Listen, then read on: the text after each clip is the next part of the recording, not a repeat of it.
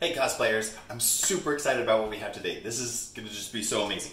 All right, have you ever had your foam clay creations dry out on you before you uh, have it completely added to your cosplay, or before you go to a con and you're all worried about it being being too brittle, too brittle and breaking on you? So we have an, uh, in this video, I'm to teach you how to make these soft and flexible again, even better than it was when you first originally made it. All right. If you haven't yet, go ahead and subscribe so you get and hit that bell notification and select all notifications so that you get notified anytime we come out with one of these cosplay quick tip clips. all right, with that, we're going to dive in. Uh, the nature of foam clay being air dry is that uh, when you first make it, uh, it's got all the moisture in it and everything, it gets exposed to the air, it's going to start to dry out. Uh, once it cures, usually within that first 24 to 48 hour time period, it still remains flexible for a while. Um, and if you seal it at that point with Plastidip or whatever and trap that moisture in and keep the air out, it'll continue to stay pretty flexible for you. But if you miss that window, you get into like, you know, from after that uh, first 72 hours to within a week time period, it can start to dry all the way through.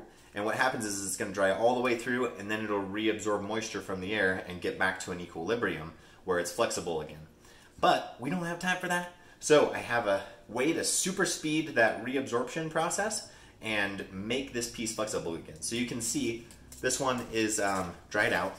You can just hear the dryness just from using it, right? And then I'm gonna I'm gonna actually break off a piece on this to show you Aww. how brittle it is.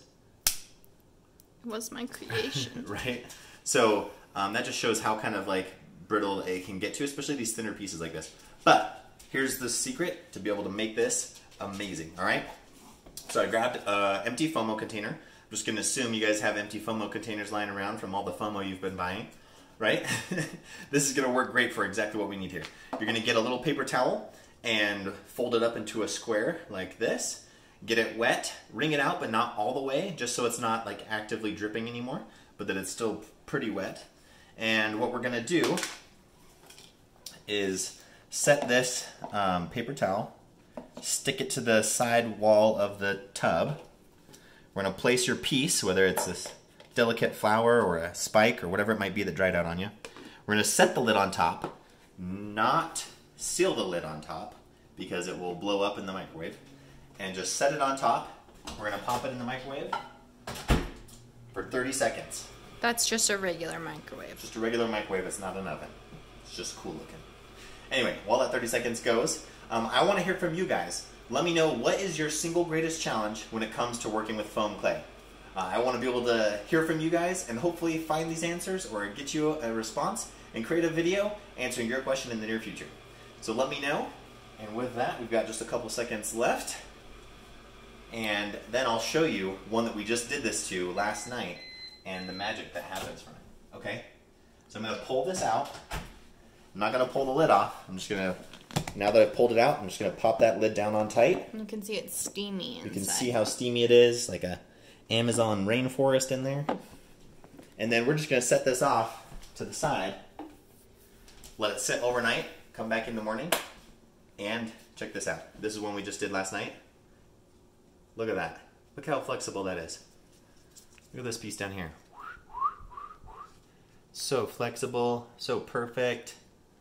It, it feels like it was just made. It, yeah, it feels like even better than when it was just made. It's Well, amazing. yeah. Like, look at that. The squish, the bounce to it. It's amazing! This trick is so cool! I'm so excited. Um, please share this with anybody that you know that works with foam clay because this is going to save the day uh, when they find out they can do this. If you've ever had this problem yourself, you know how frustrating that can be. You make a piece, it's all perfect, and then it dries out a little bit too much before you can finish it uh, because adulting happens and you had to go do something else before you could come back.